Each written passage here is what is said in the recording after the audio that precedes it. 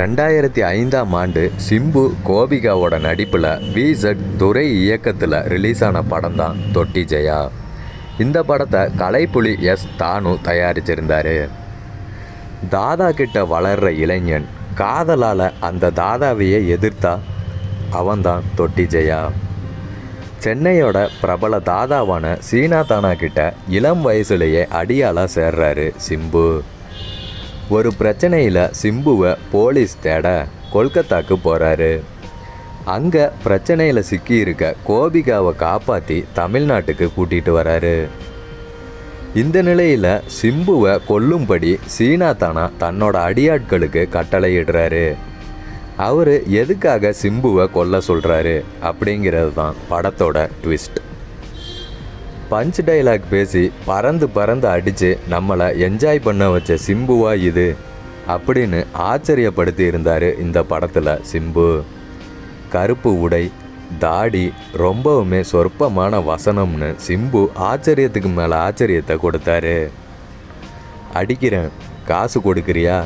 அப்படின்னு சிம்புவோட சின்ன வயசு கதாபாத்திரத்தில் நடித்த சிறுவனுக்கு ஏகப்பட்ட கிளாப்ஸ் கிடச்சிருந்தது.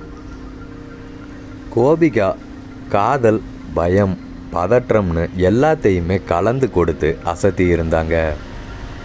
வில்லன் சீனா தானாவா புதுமுகம் பிரதீப் நடிச்சிருந்தார். இந்த படத்தில் முதல்ல ஹீரோவாக நடிக்க இருந்தவர் காக்க காக்க படத்தில் வில்லனாக நடித்த ஜீவன் தான். கால் சீட் பிரச்சனையால் அவரால் இந்த படத்தில் நடிக்க முடியலை. அதுக்கப்புறம் இந்த படத்தில் சிம்பு நடிச்சிருந்தாரு. யுவன் சங்கர் ராஜா தான் இந்த படத்துக்கு இசையமைப்பாளராக இருந்தார். ஒரு பாடலையும் ரெக்கார்டு செஞ்சிட்டாரு. அதுக்கப்புறம் யுவன் இந்த படத்தில் இருந்து விலக ஹாரிஸ் ஜெயராஜ் இசையமைச்சார். உயிரே என்னுயிரே சம்பா சம்பாலே போன்ற பாடல்கள் எல்லாமே செம்ம ஹிட்டுன்னு தான் சொல்லணும். படத்தில் காமெடி தேவையற்ற இரைச்சல்னு எதுவுமே கிடையாது. தெளிவான ஒளிப்பதிவுக்காக ராஜசேகருக்கு சபாஸ் போடலாம். தொட்டி ஜெயா படத்தோட இரண்டாம் பாகத்துக்கான திரைக்கதை எல்லாம் ரெடியாக இருக்கு அந்த படத்தையும் இதே போல் மிரட்டுவாரா அப்படின்னு பொறுத்திருந்து பார்க்கலாம்.